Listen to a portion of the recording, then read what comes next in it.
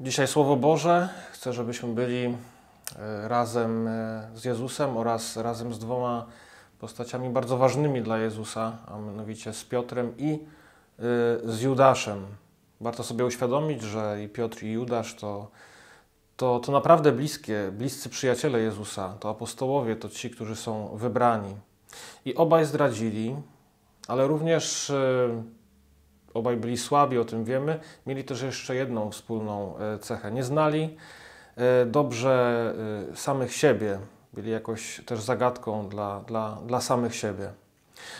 Judasz w swoim postępowaniu jest fałszywy. Wczoraj widzieliśmy, kiedy chce być takim wolontariuszem na zewnątrz, chce pokazać, że, że, że chce w jakiś dobry sposób wykorzystać pieniądze, ale tak naprawdę chciał je też zagarnąć dla siebie, ale co więcej, on jest fałszywy też wobec swoich przyjaciół, swoich bliskich. E, oni go nie znają.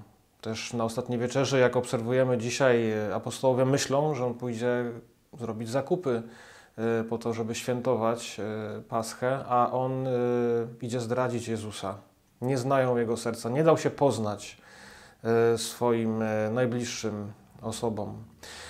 Piotr też nie zna siebie. On jest gotowy umrzeć za Jezusa, e, to bardzo szybko czas zweryfikuje, e, na ile ta jego chęć rzeczywiście była prawdziwa e, i zawsze się Jezusa również zdradzi. Ale to, co uratuje Piotra, to jest jego otwarcie się na niego, bo przyjdzie czas, kiedy zapłacze, kiedy będzie żałował, kiedy ostatecznie będzie to wzruszające spotkanie też przy ognisku, już po zmartwychwstaniu.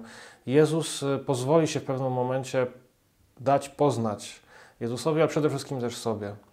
E, w tych e, już ostatnich, można powiedzieć, że godzinach e, przed Triduum Paschalnym pozwólmy Jezusowi dobrze się poznać, tak żebyśmy też dobrze poznali siebie.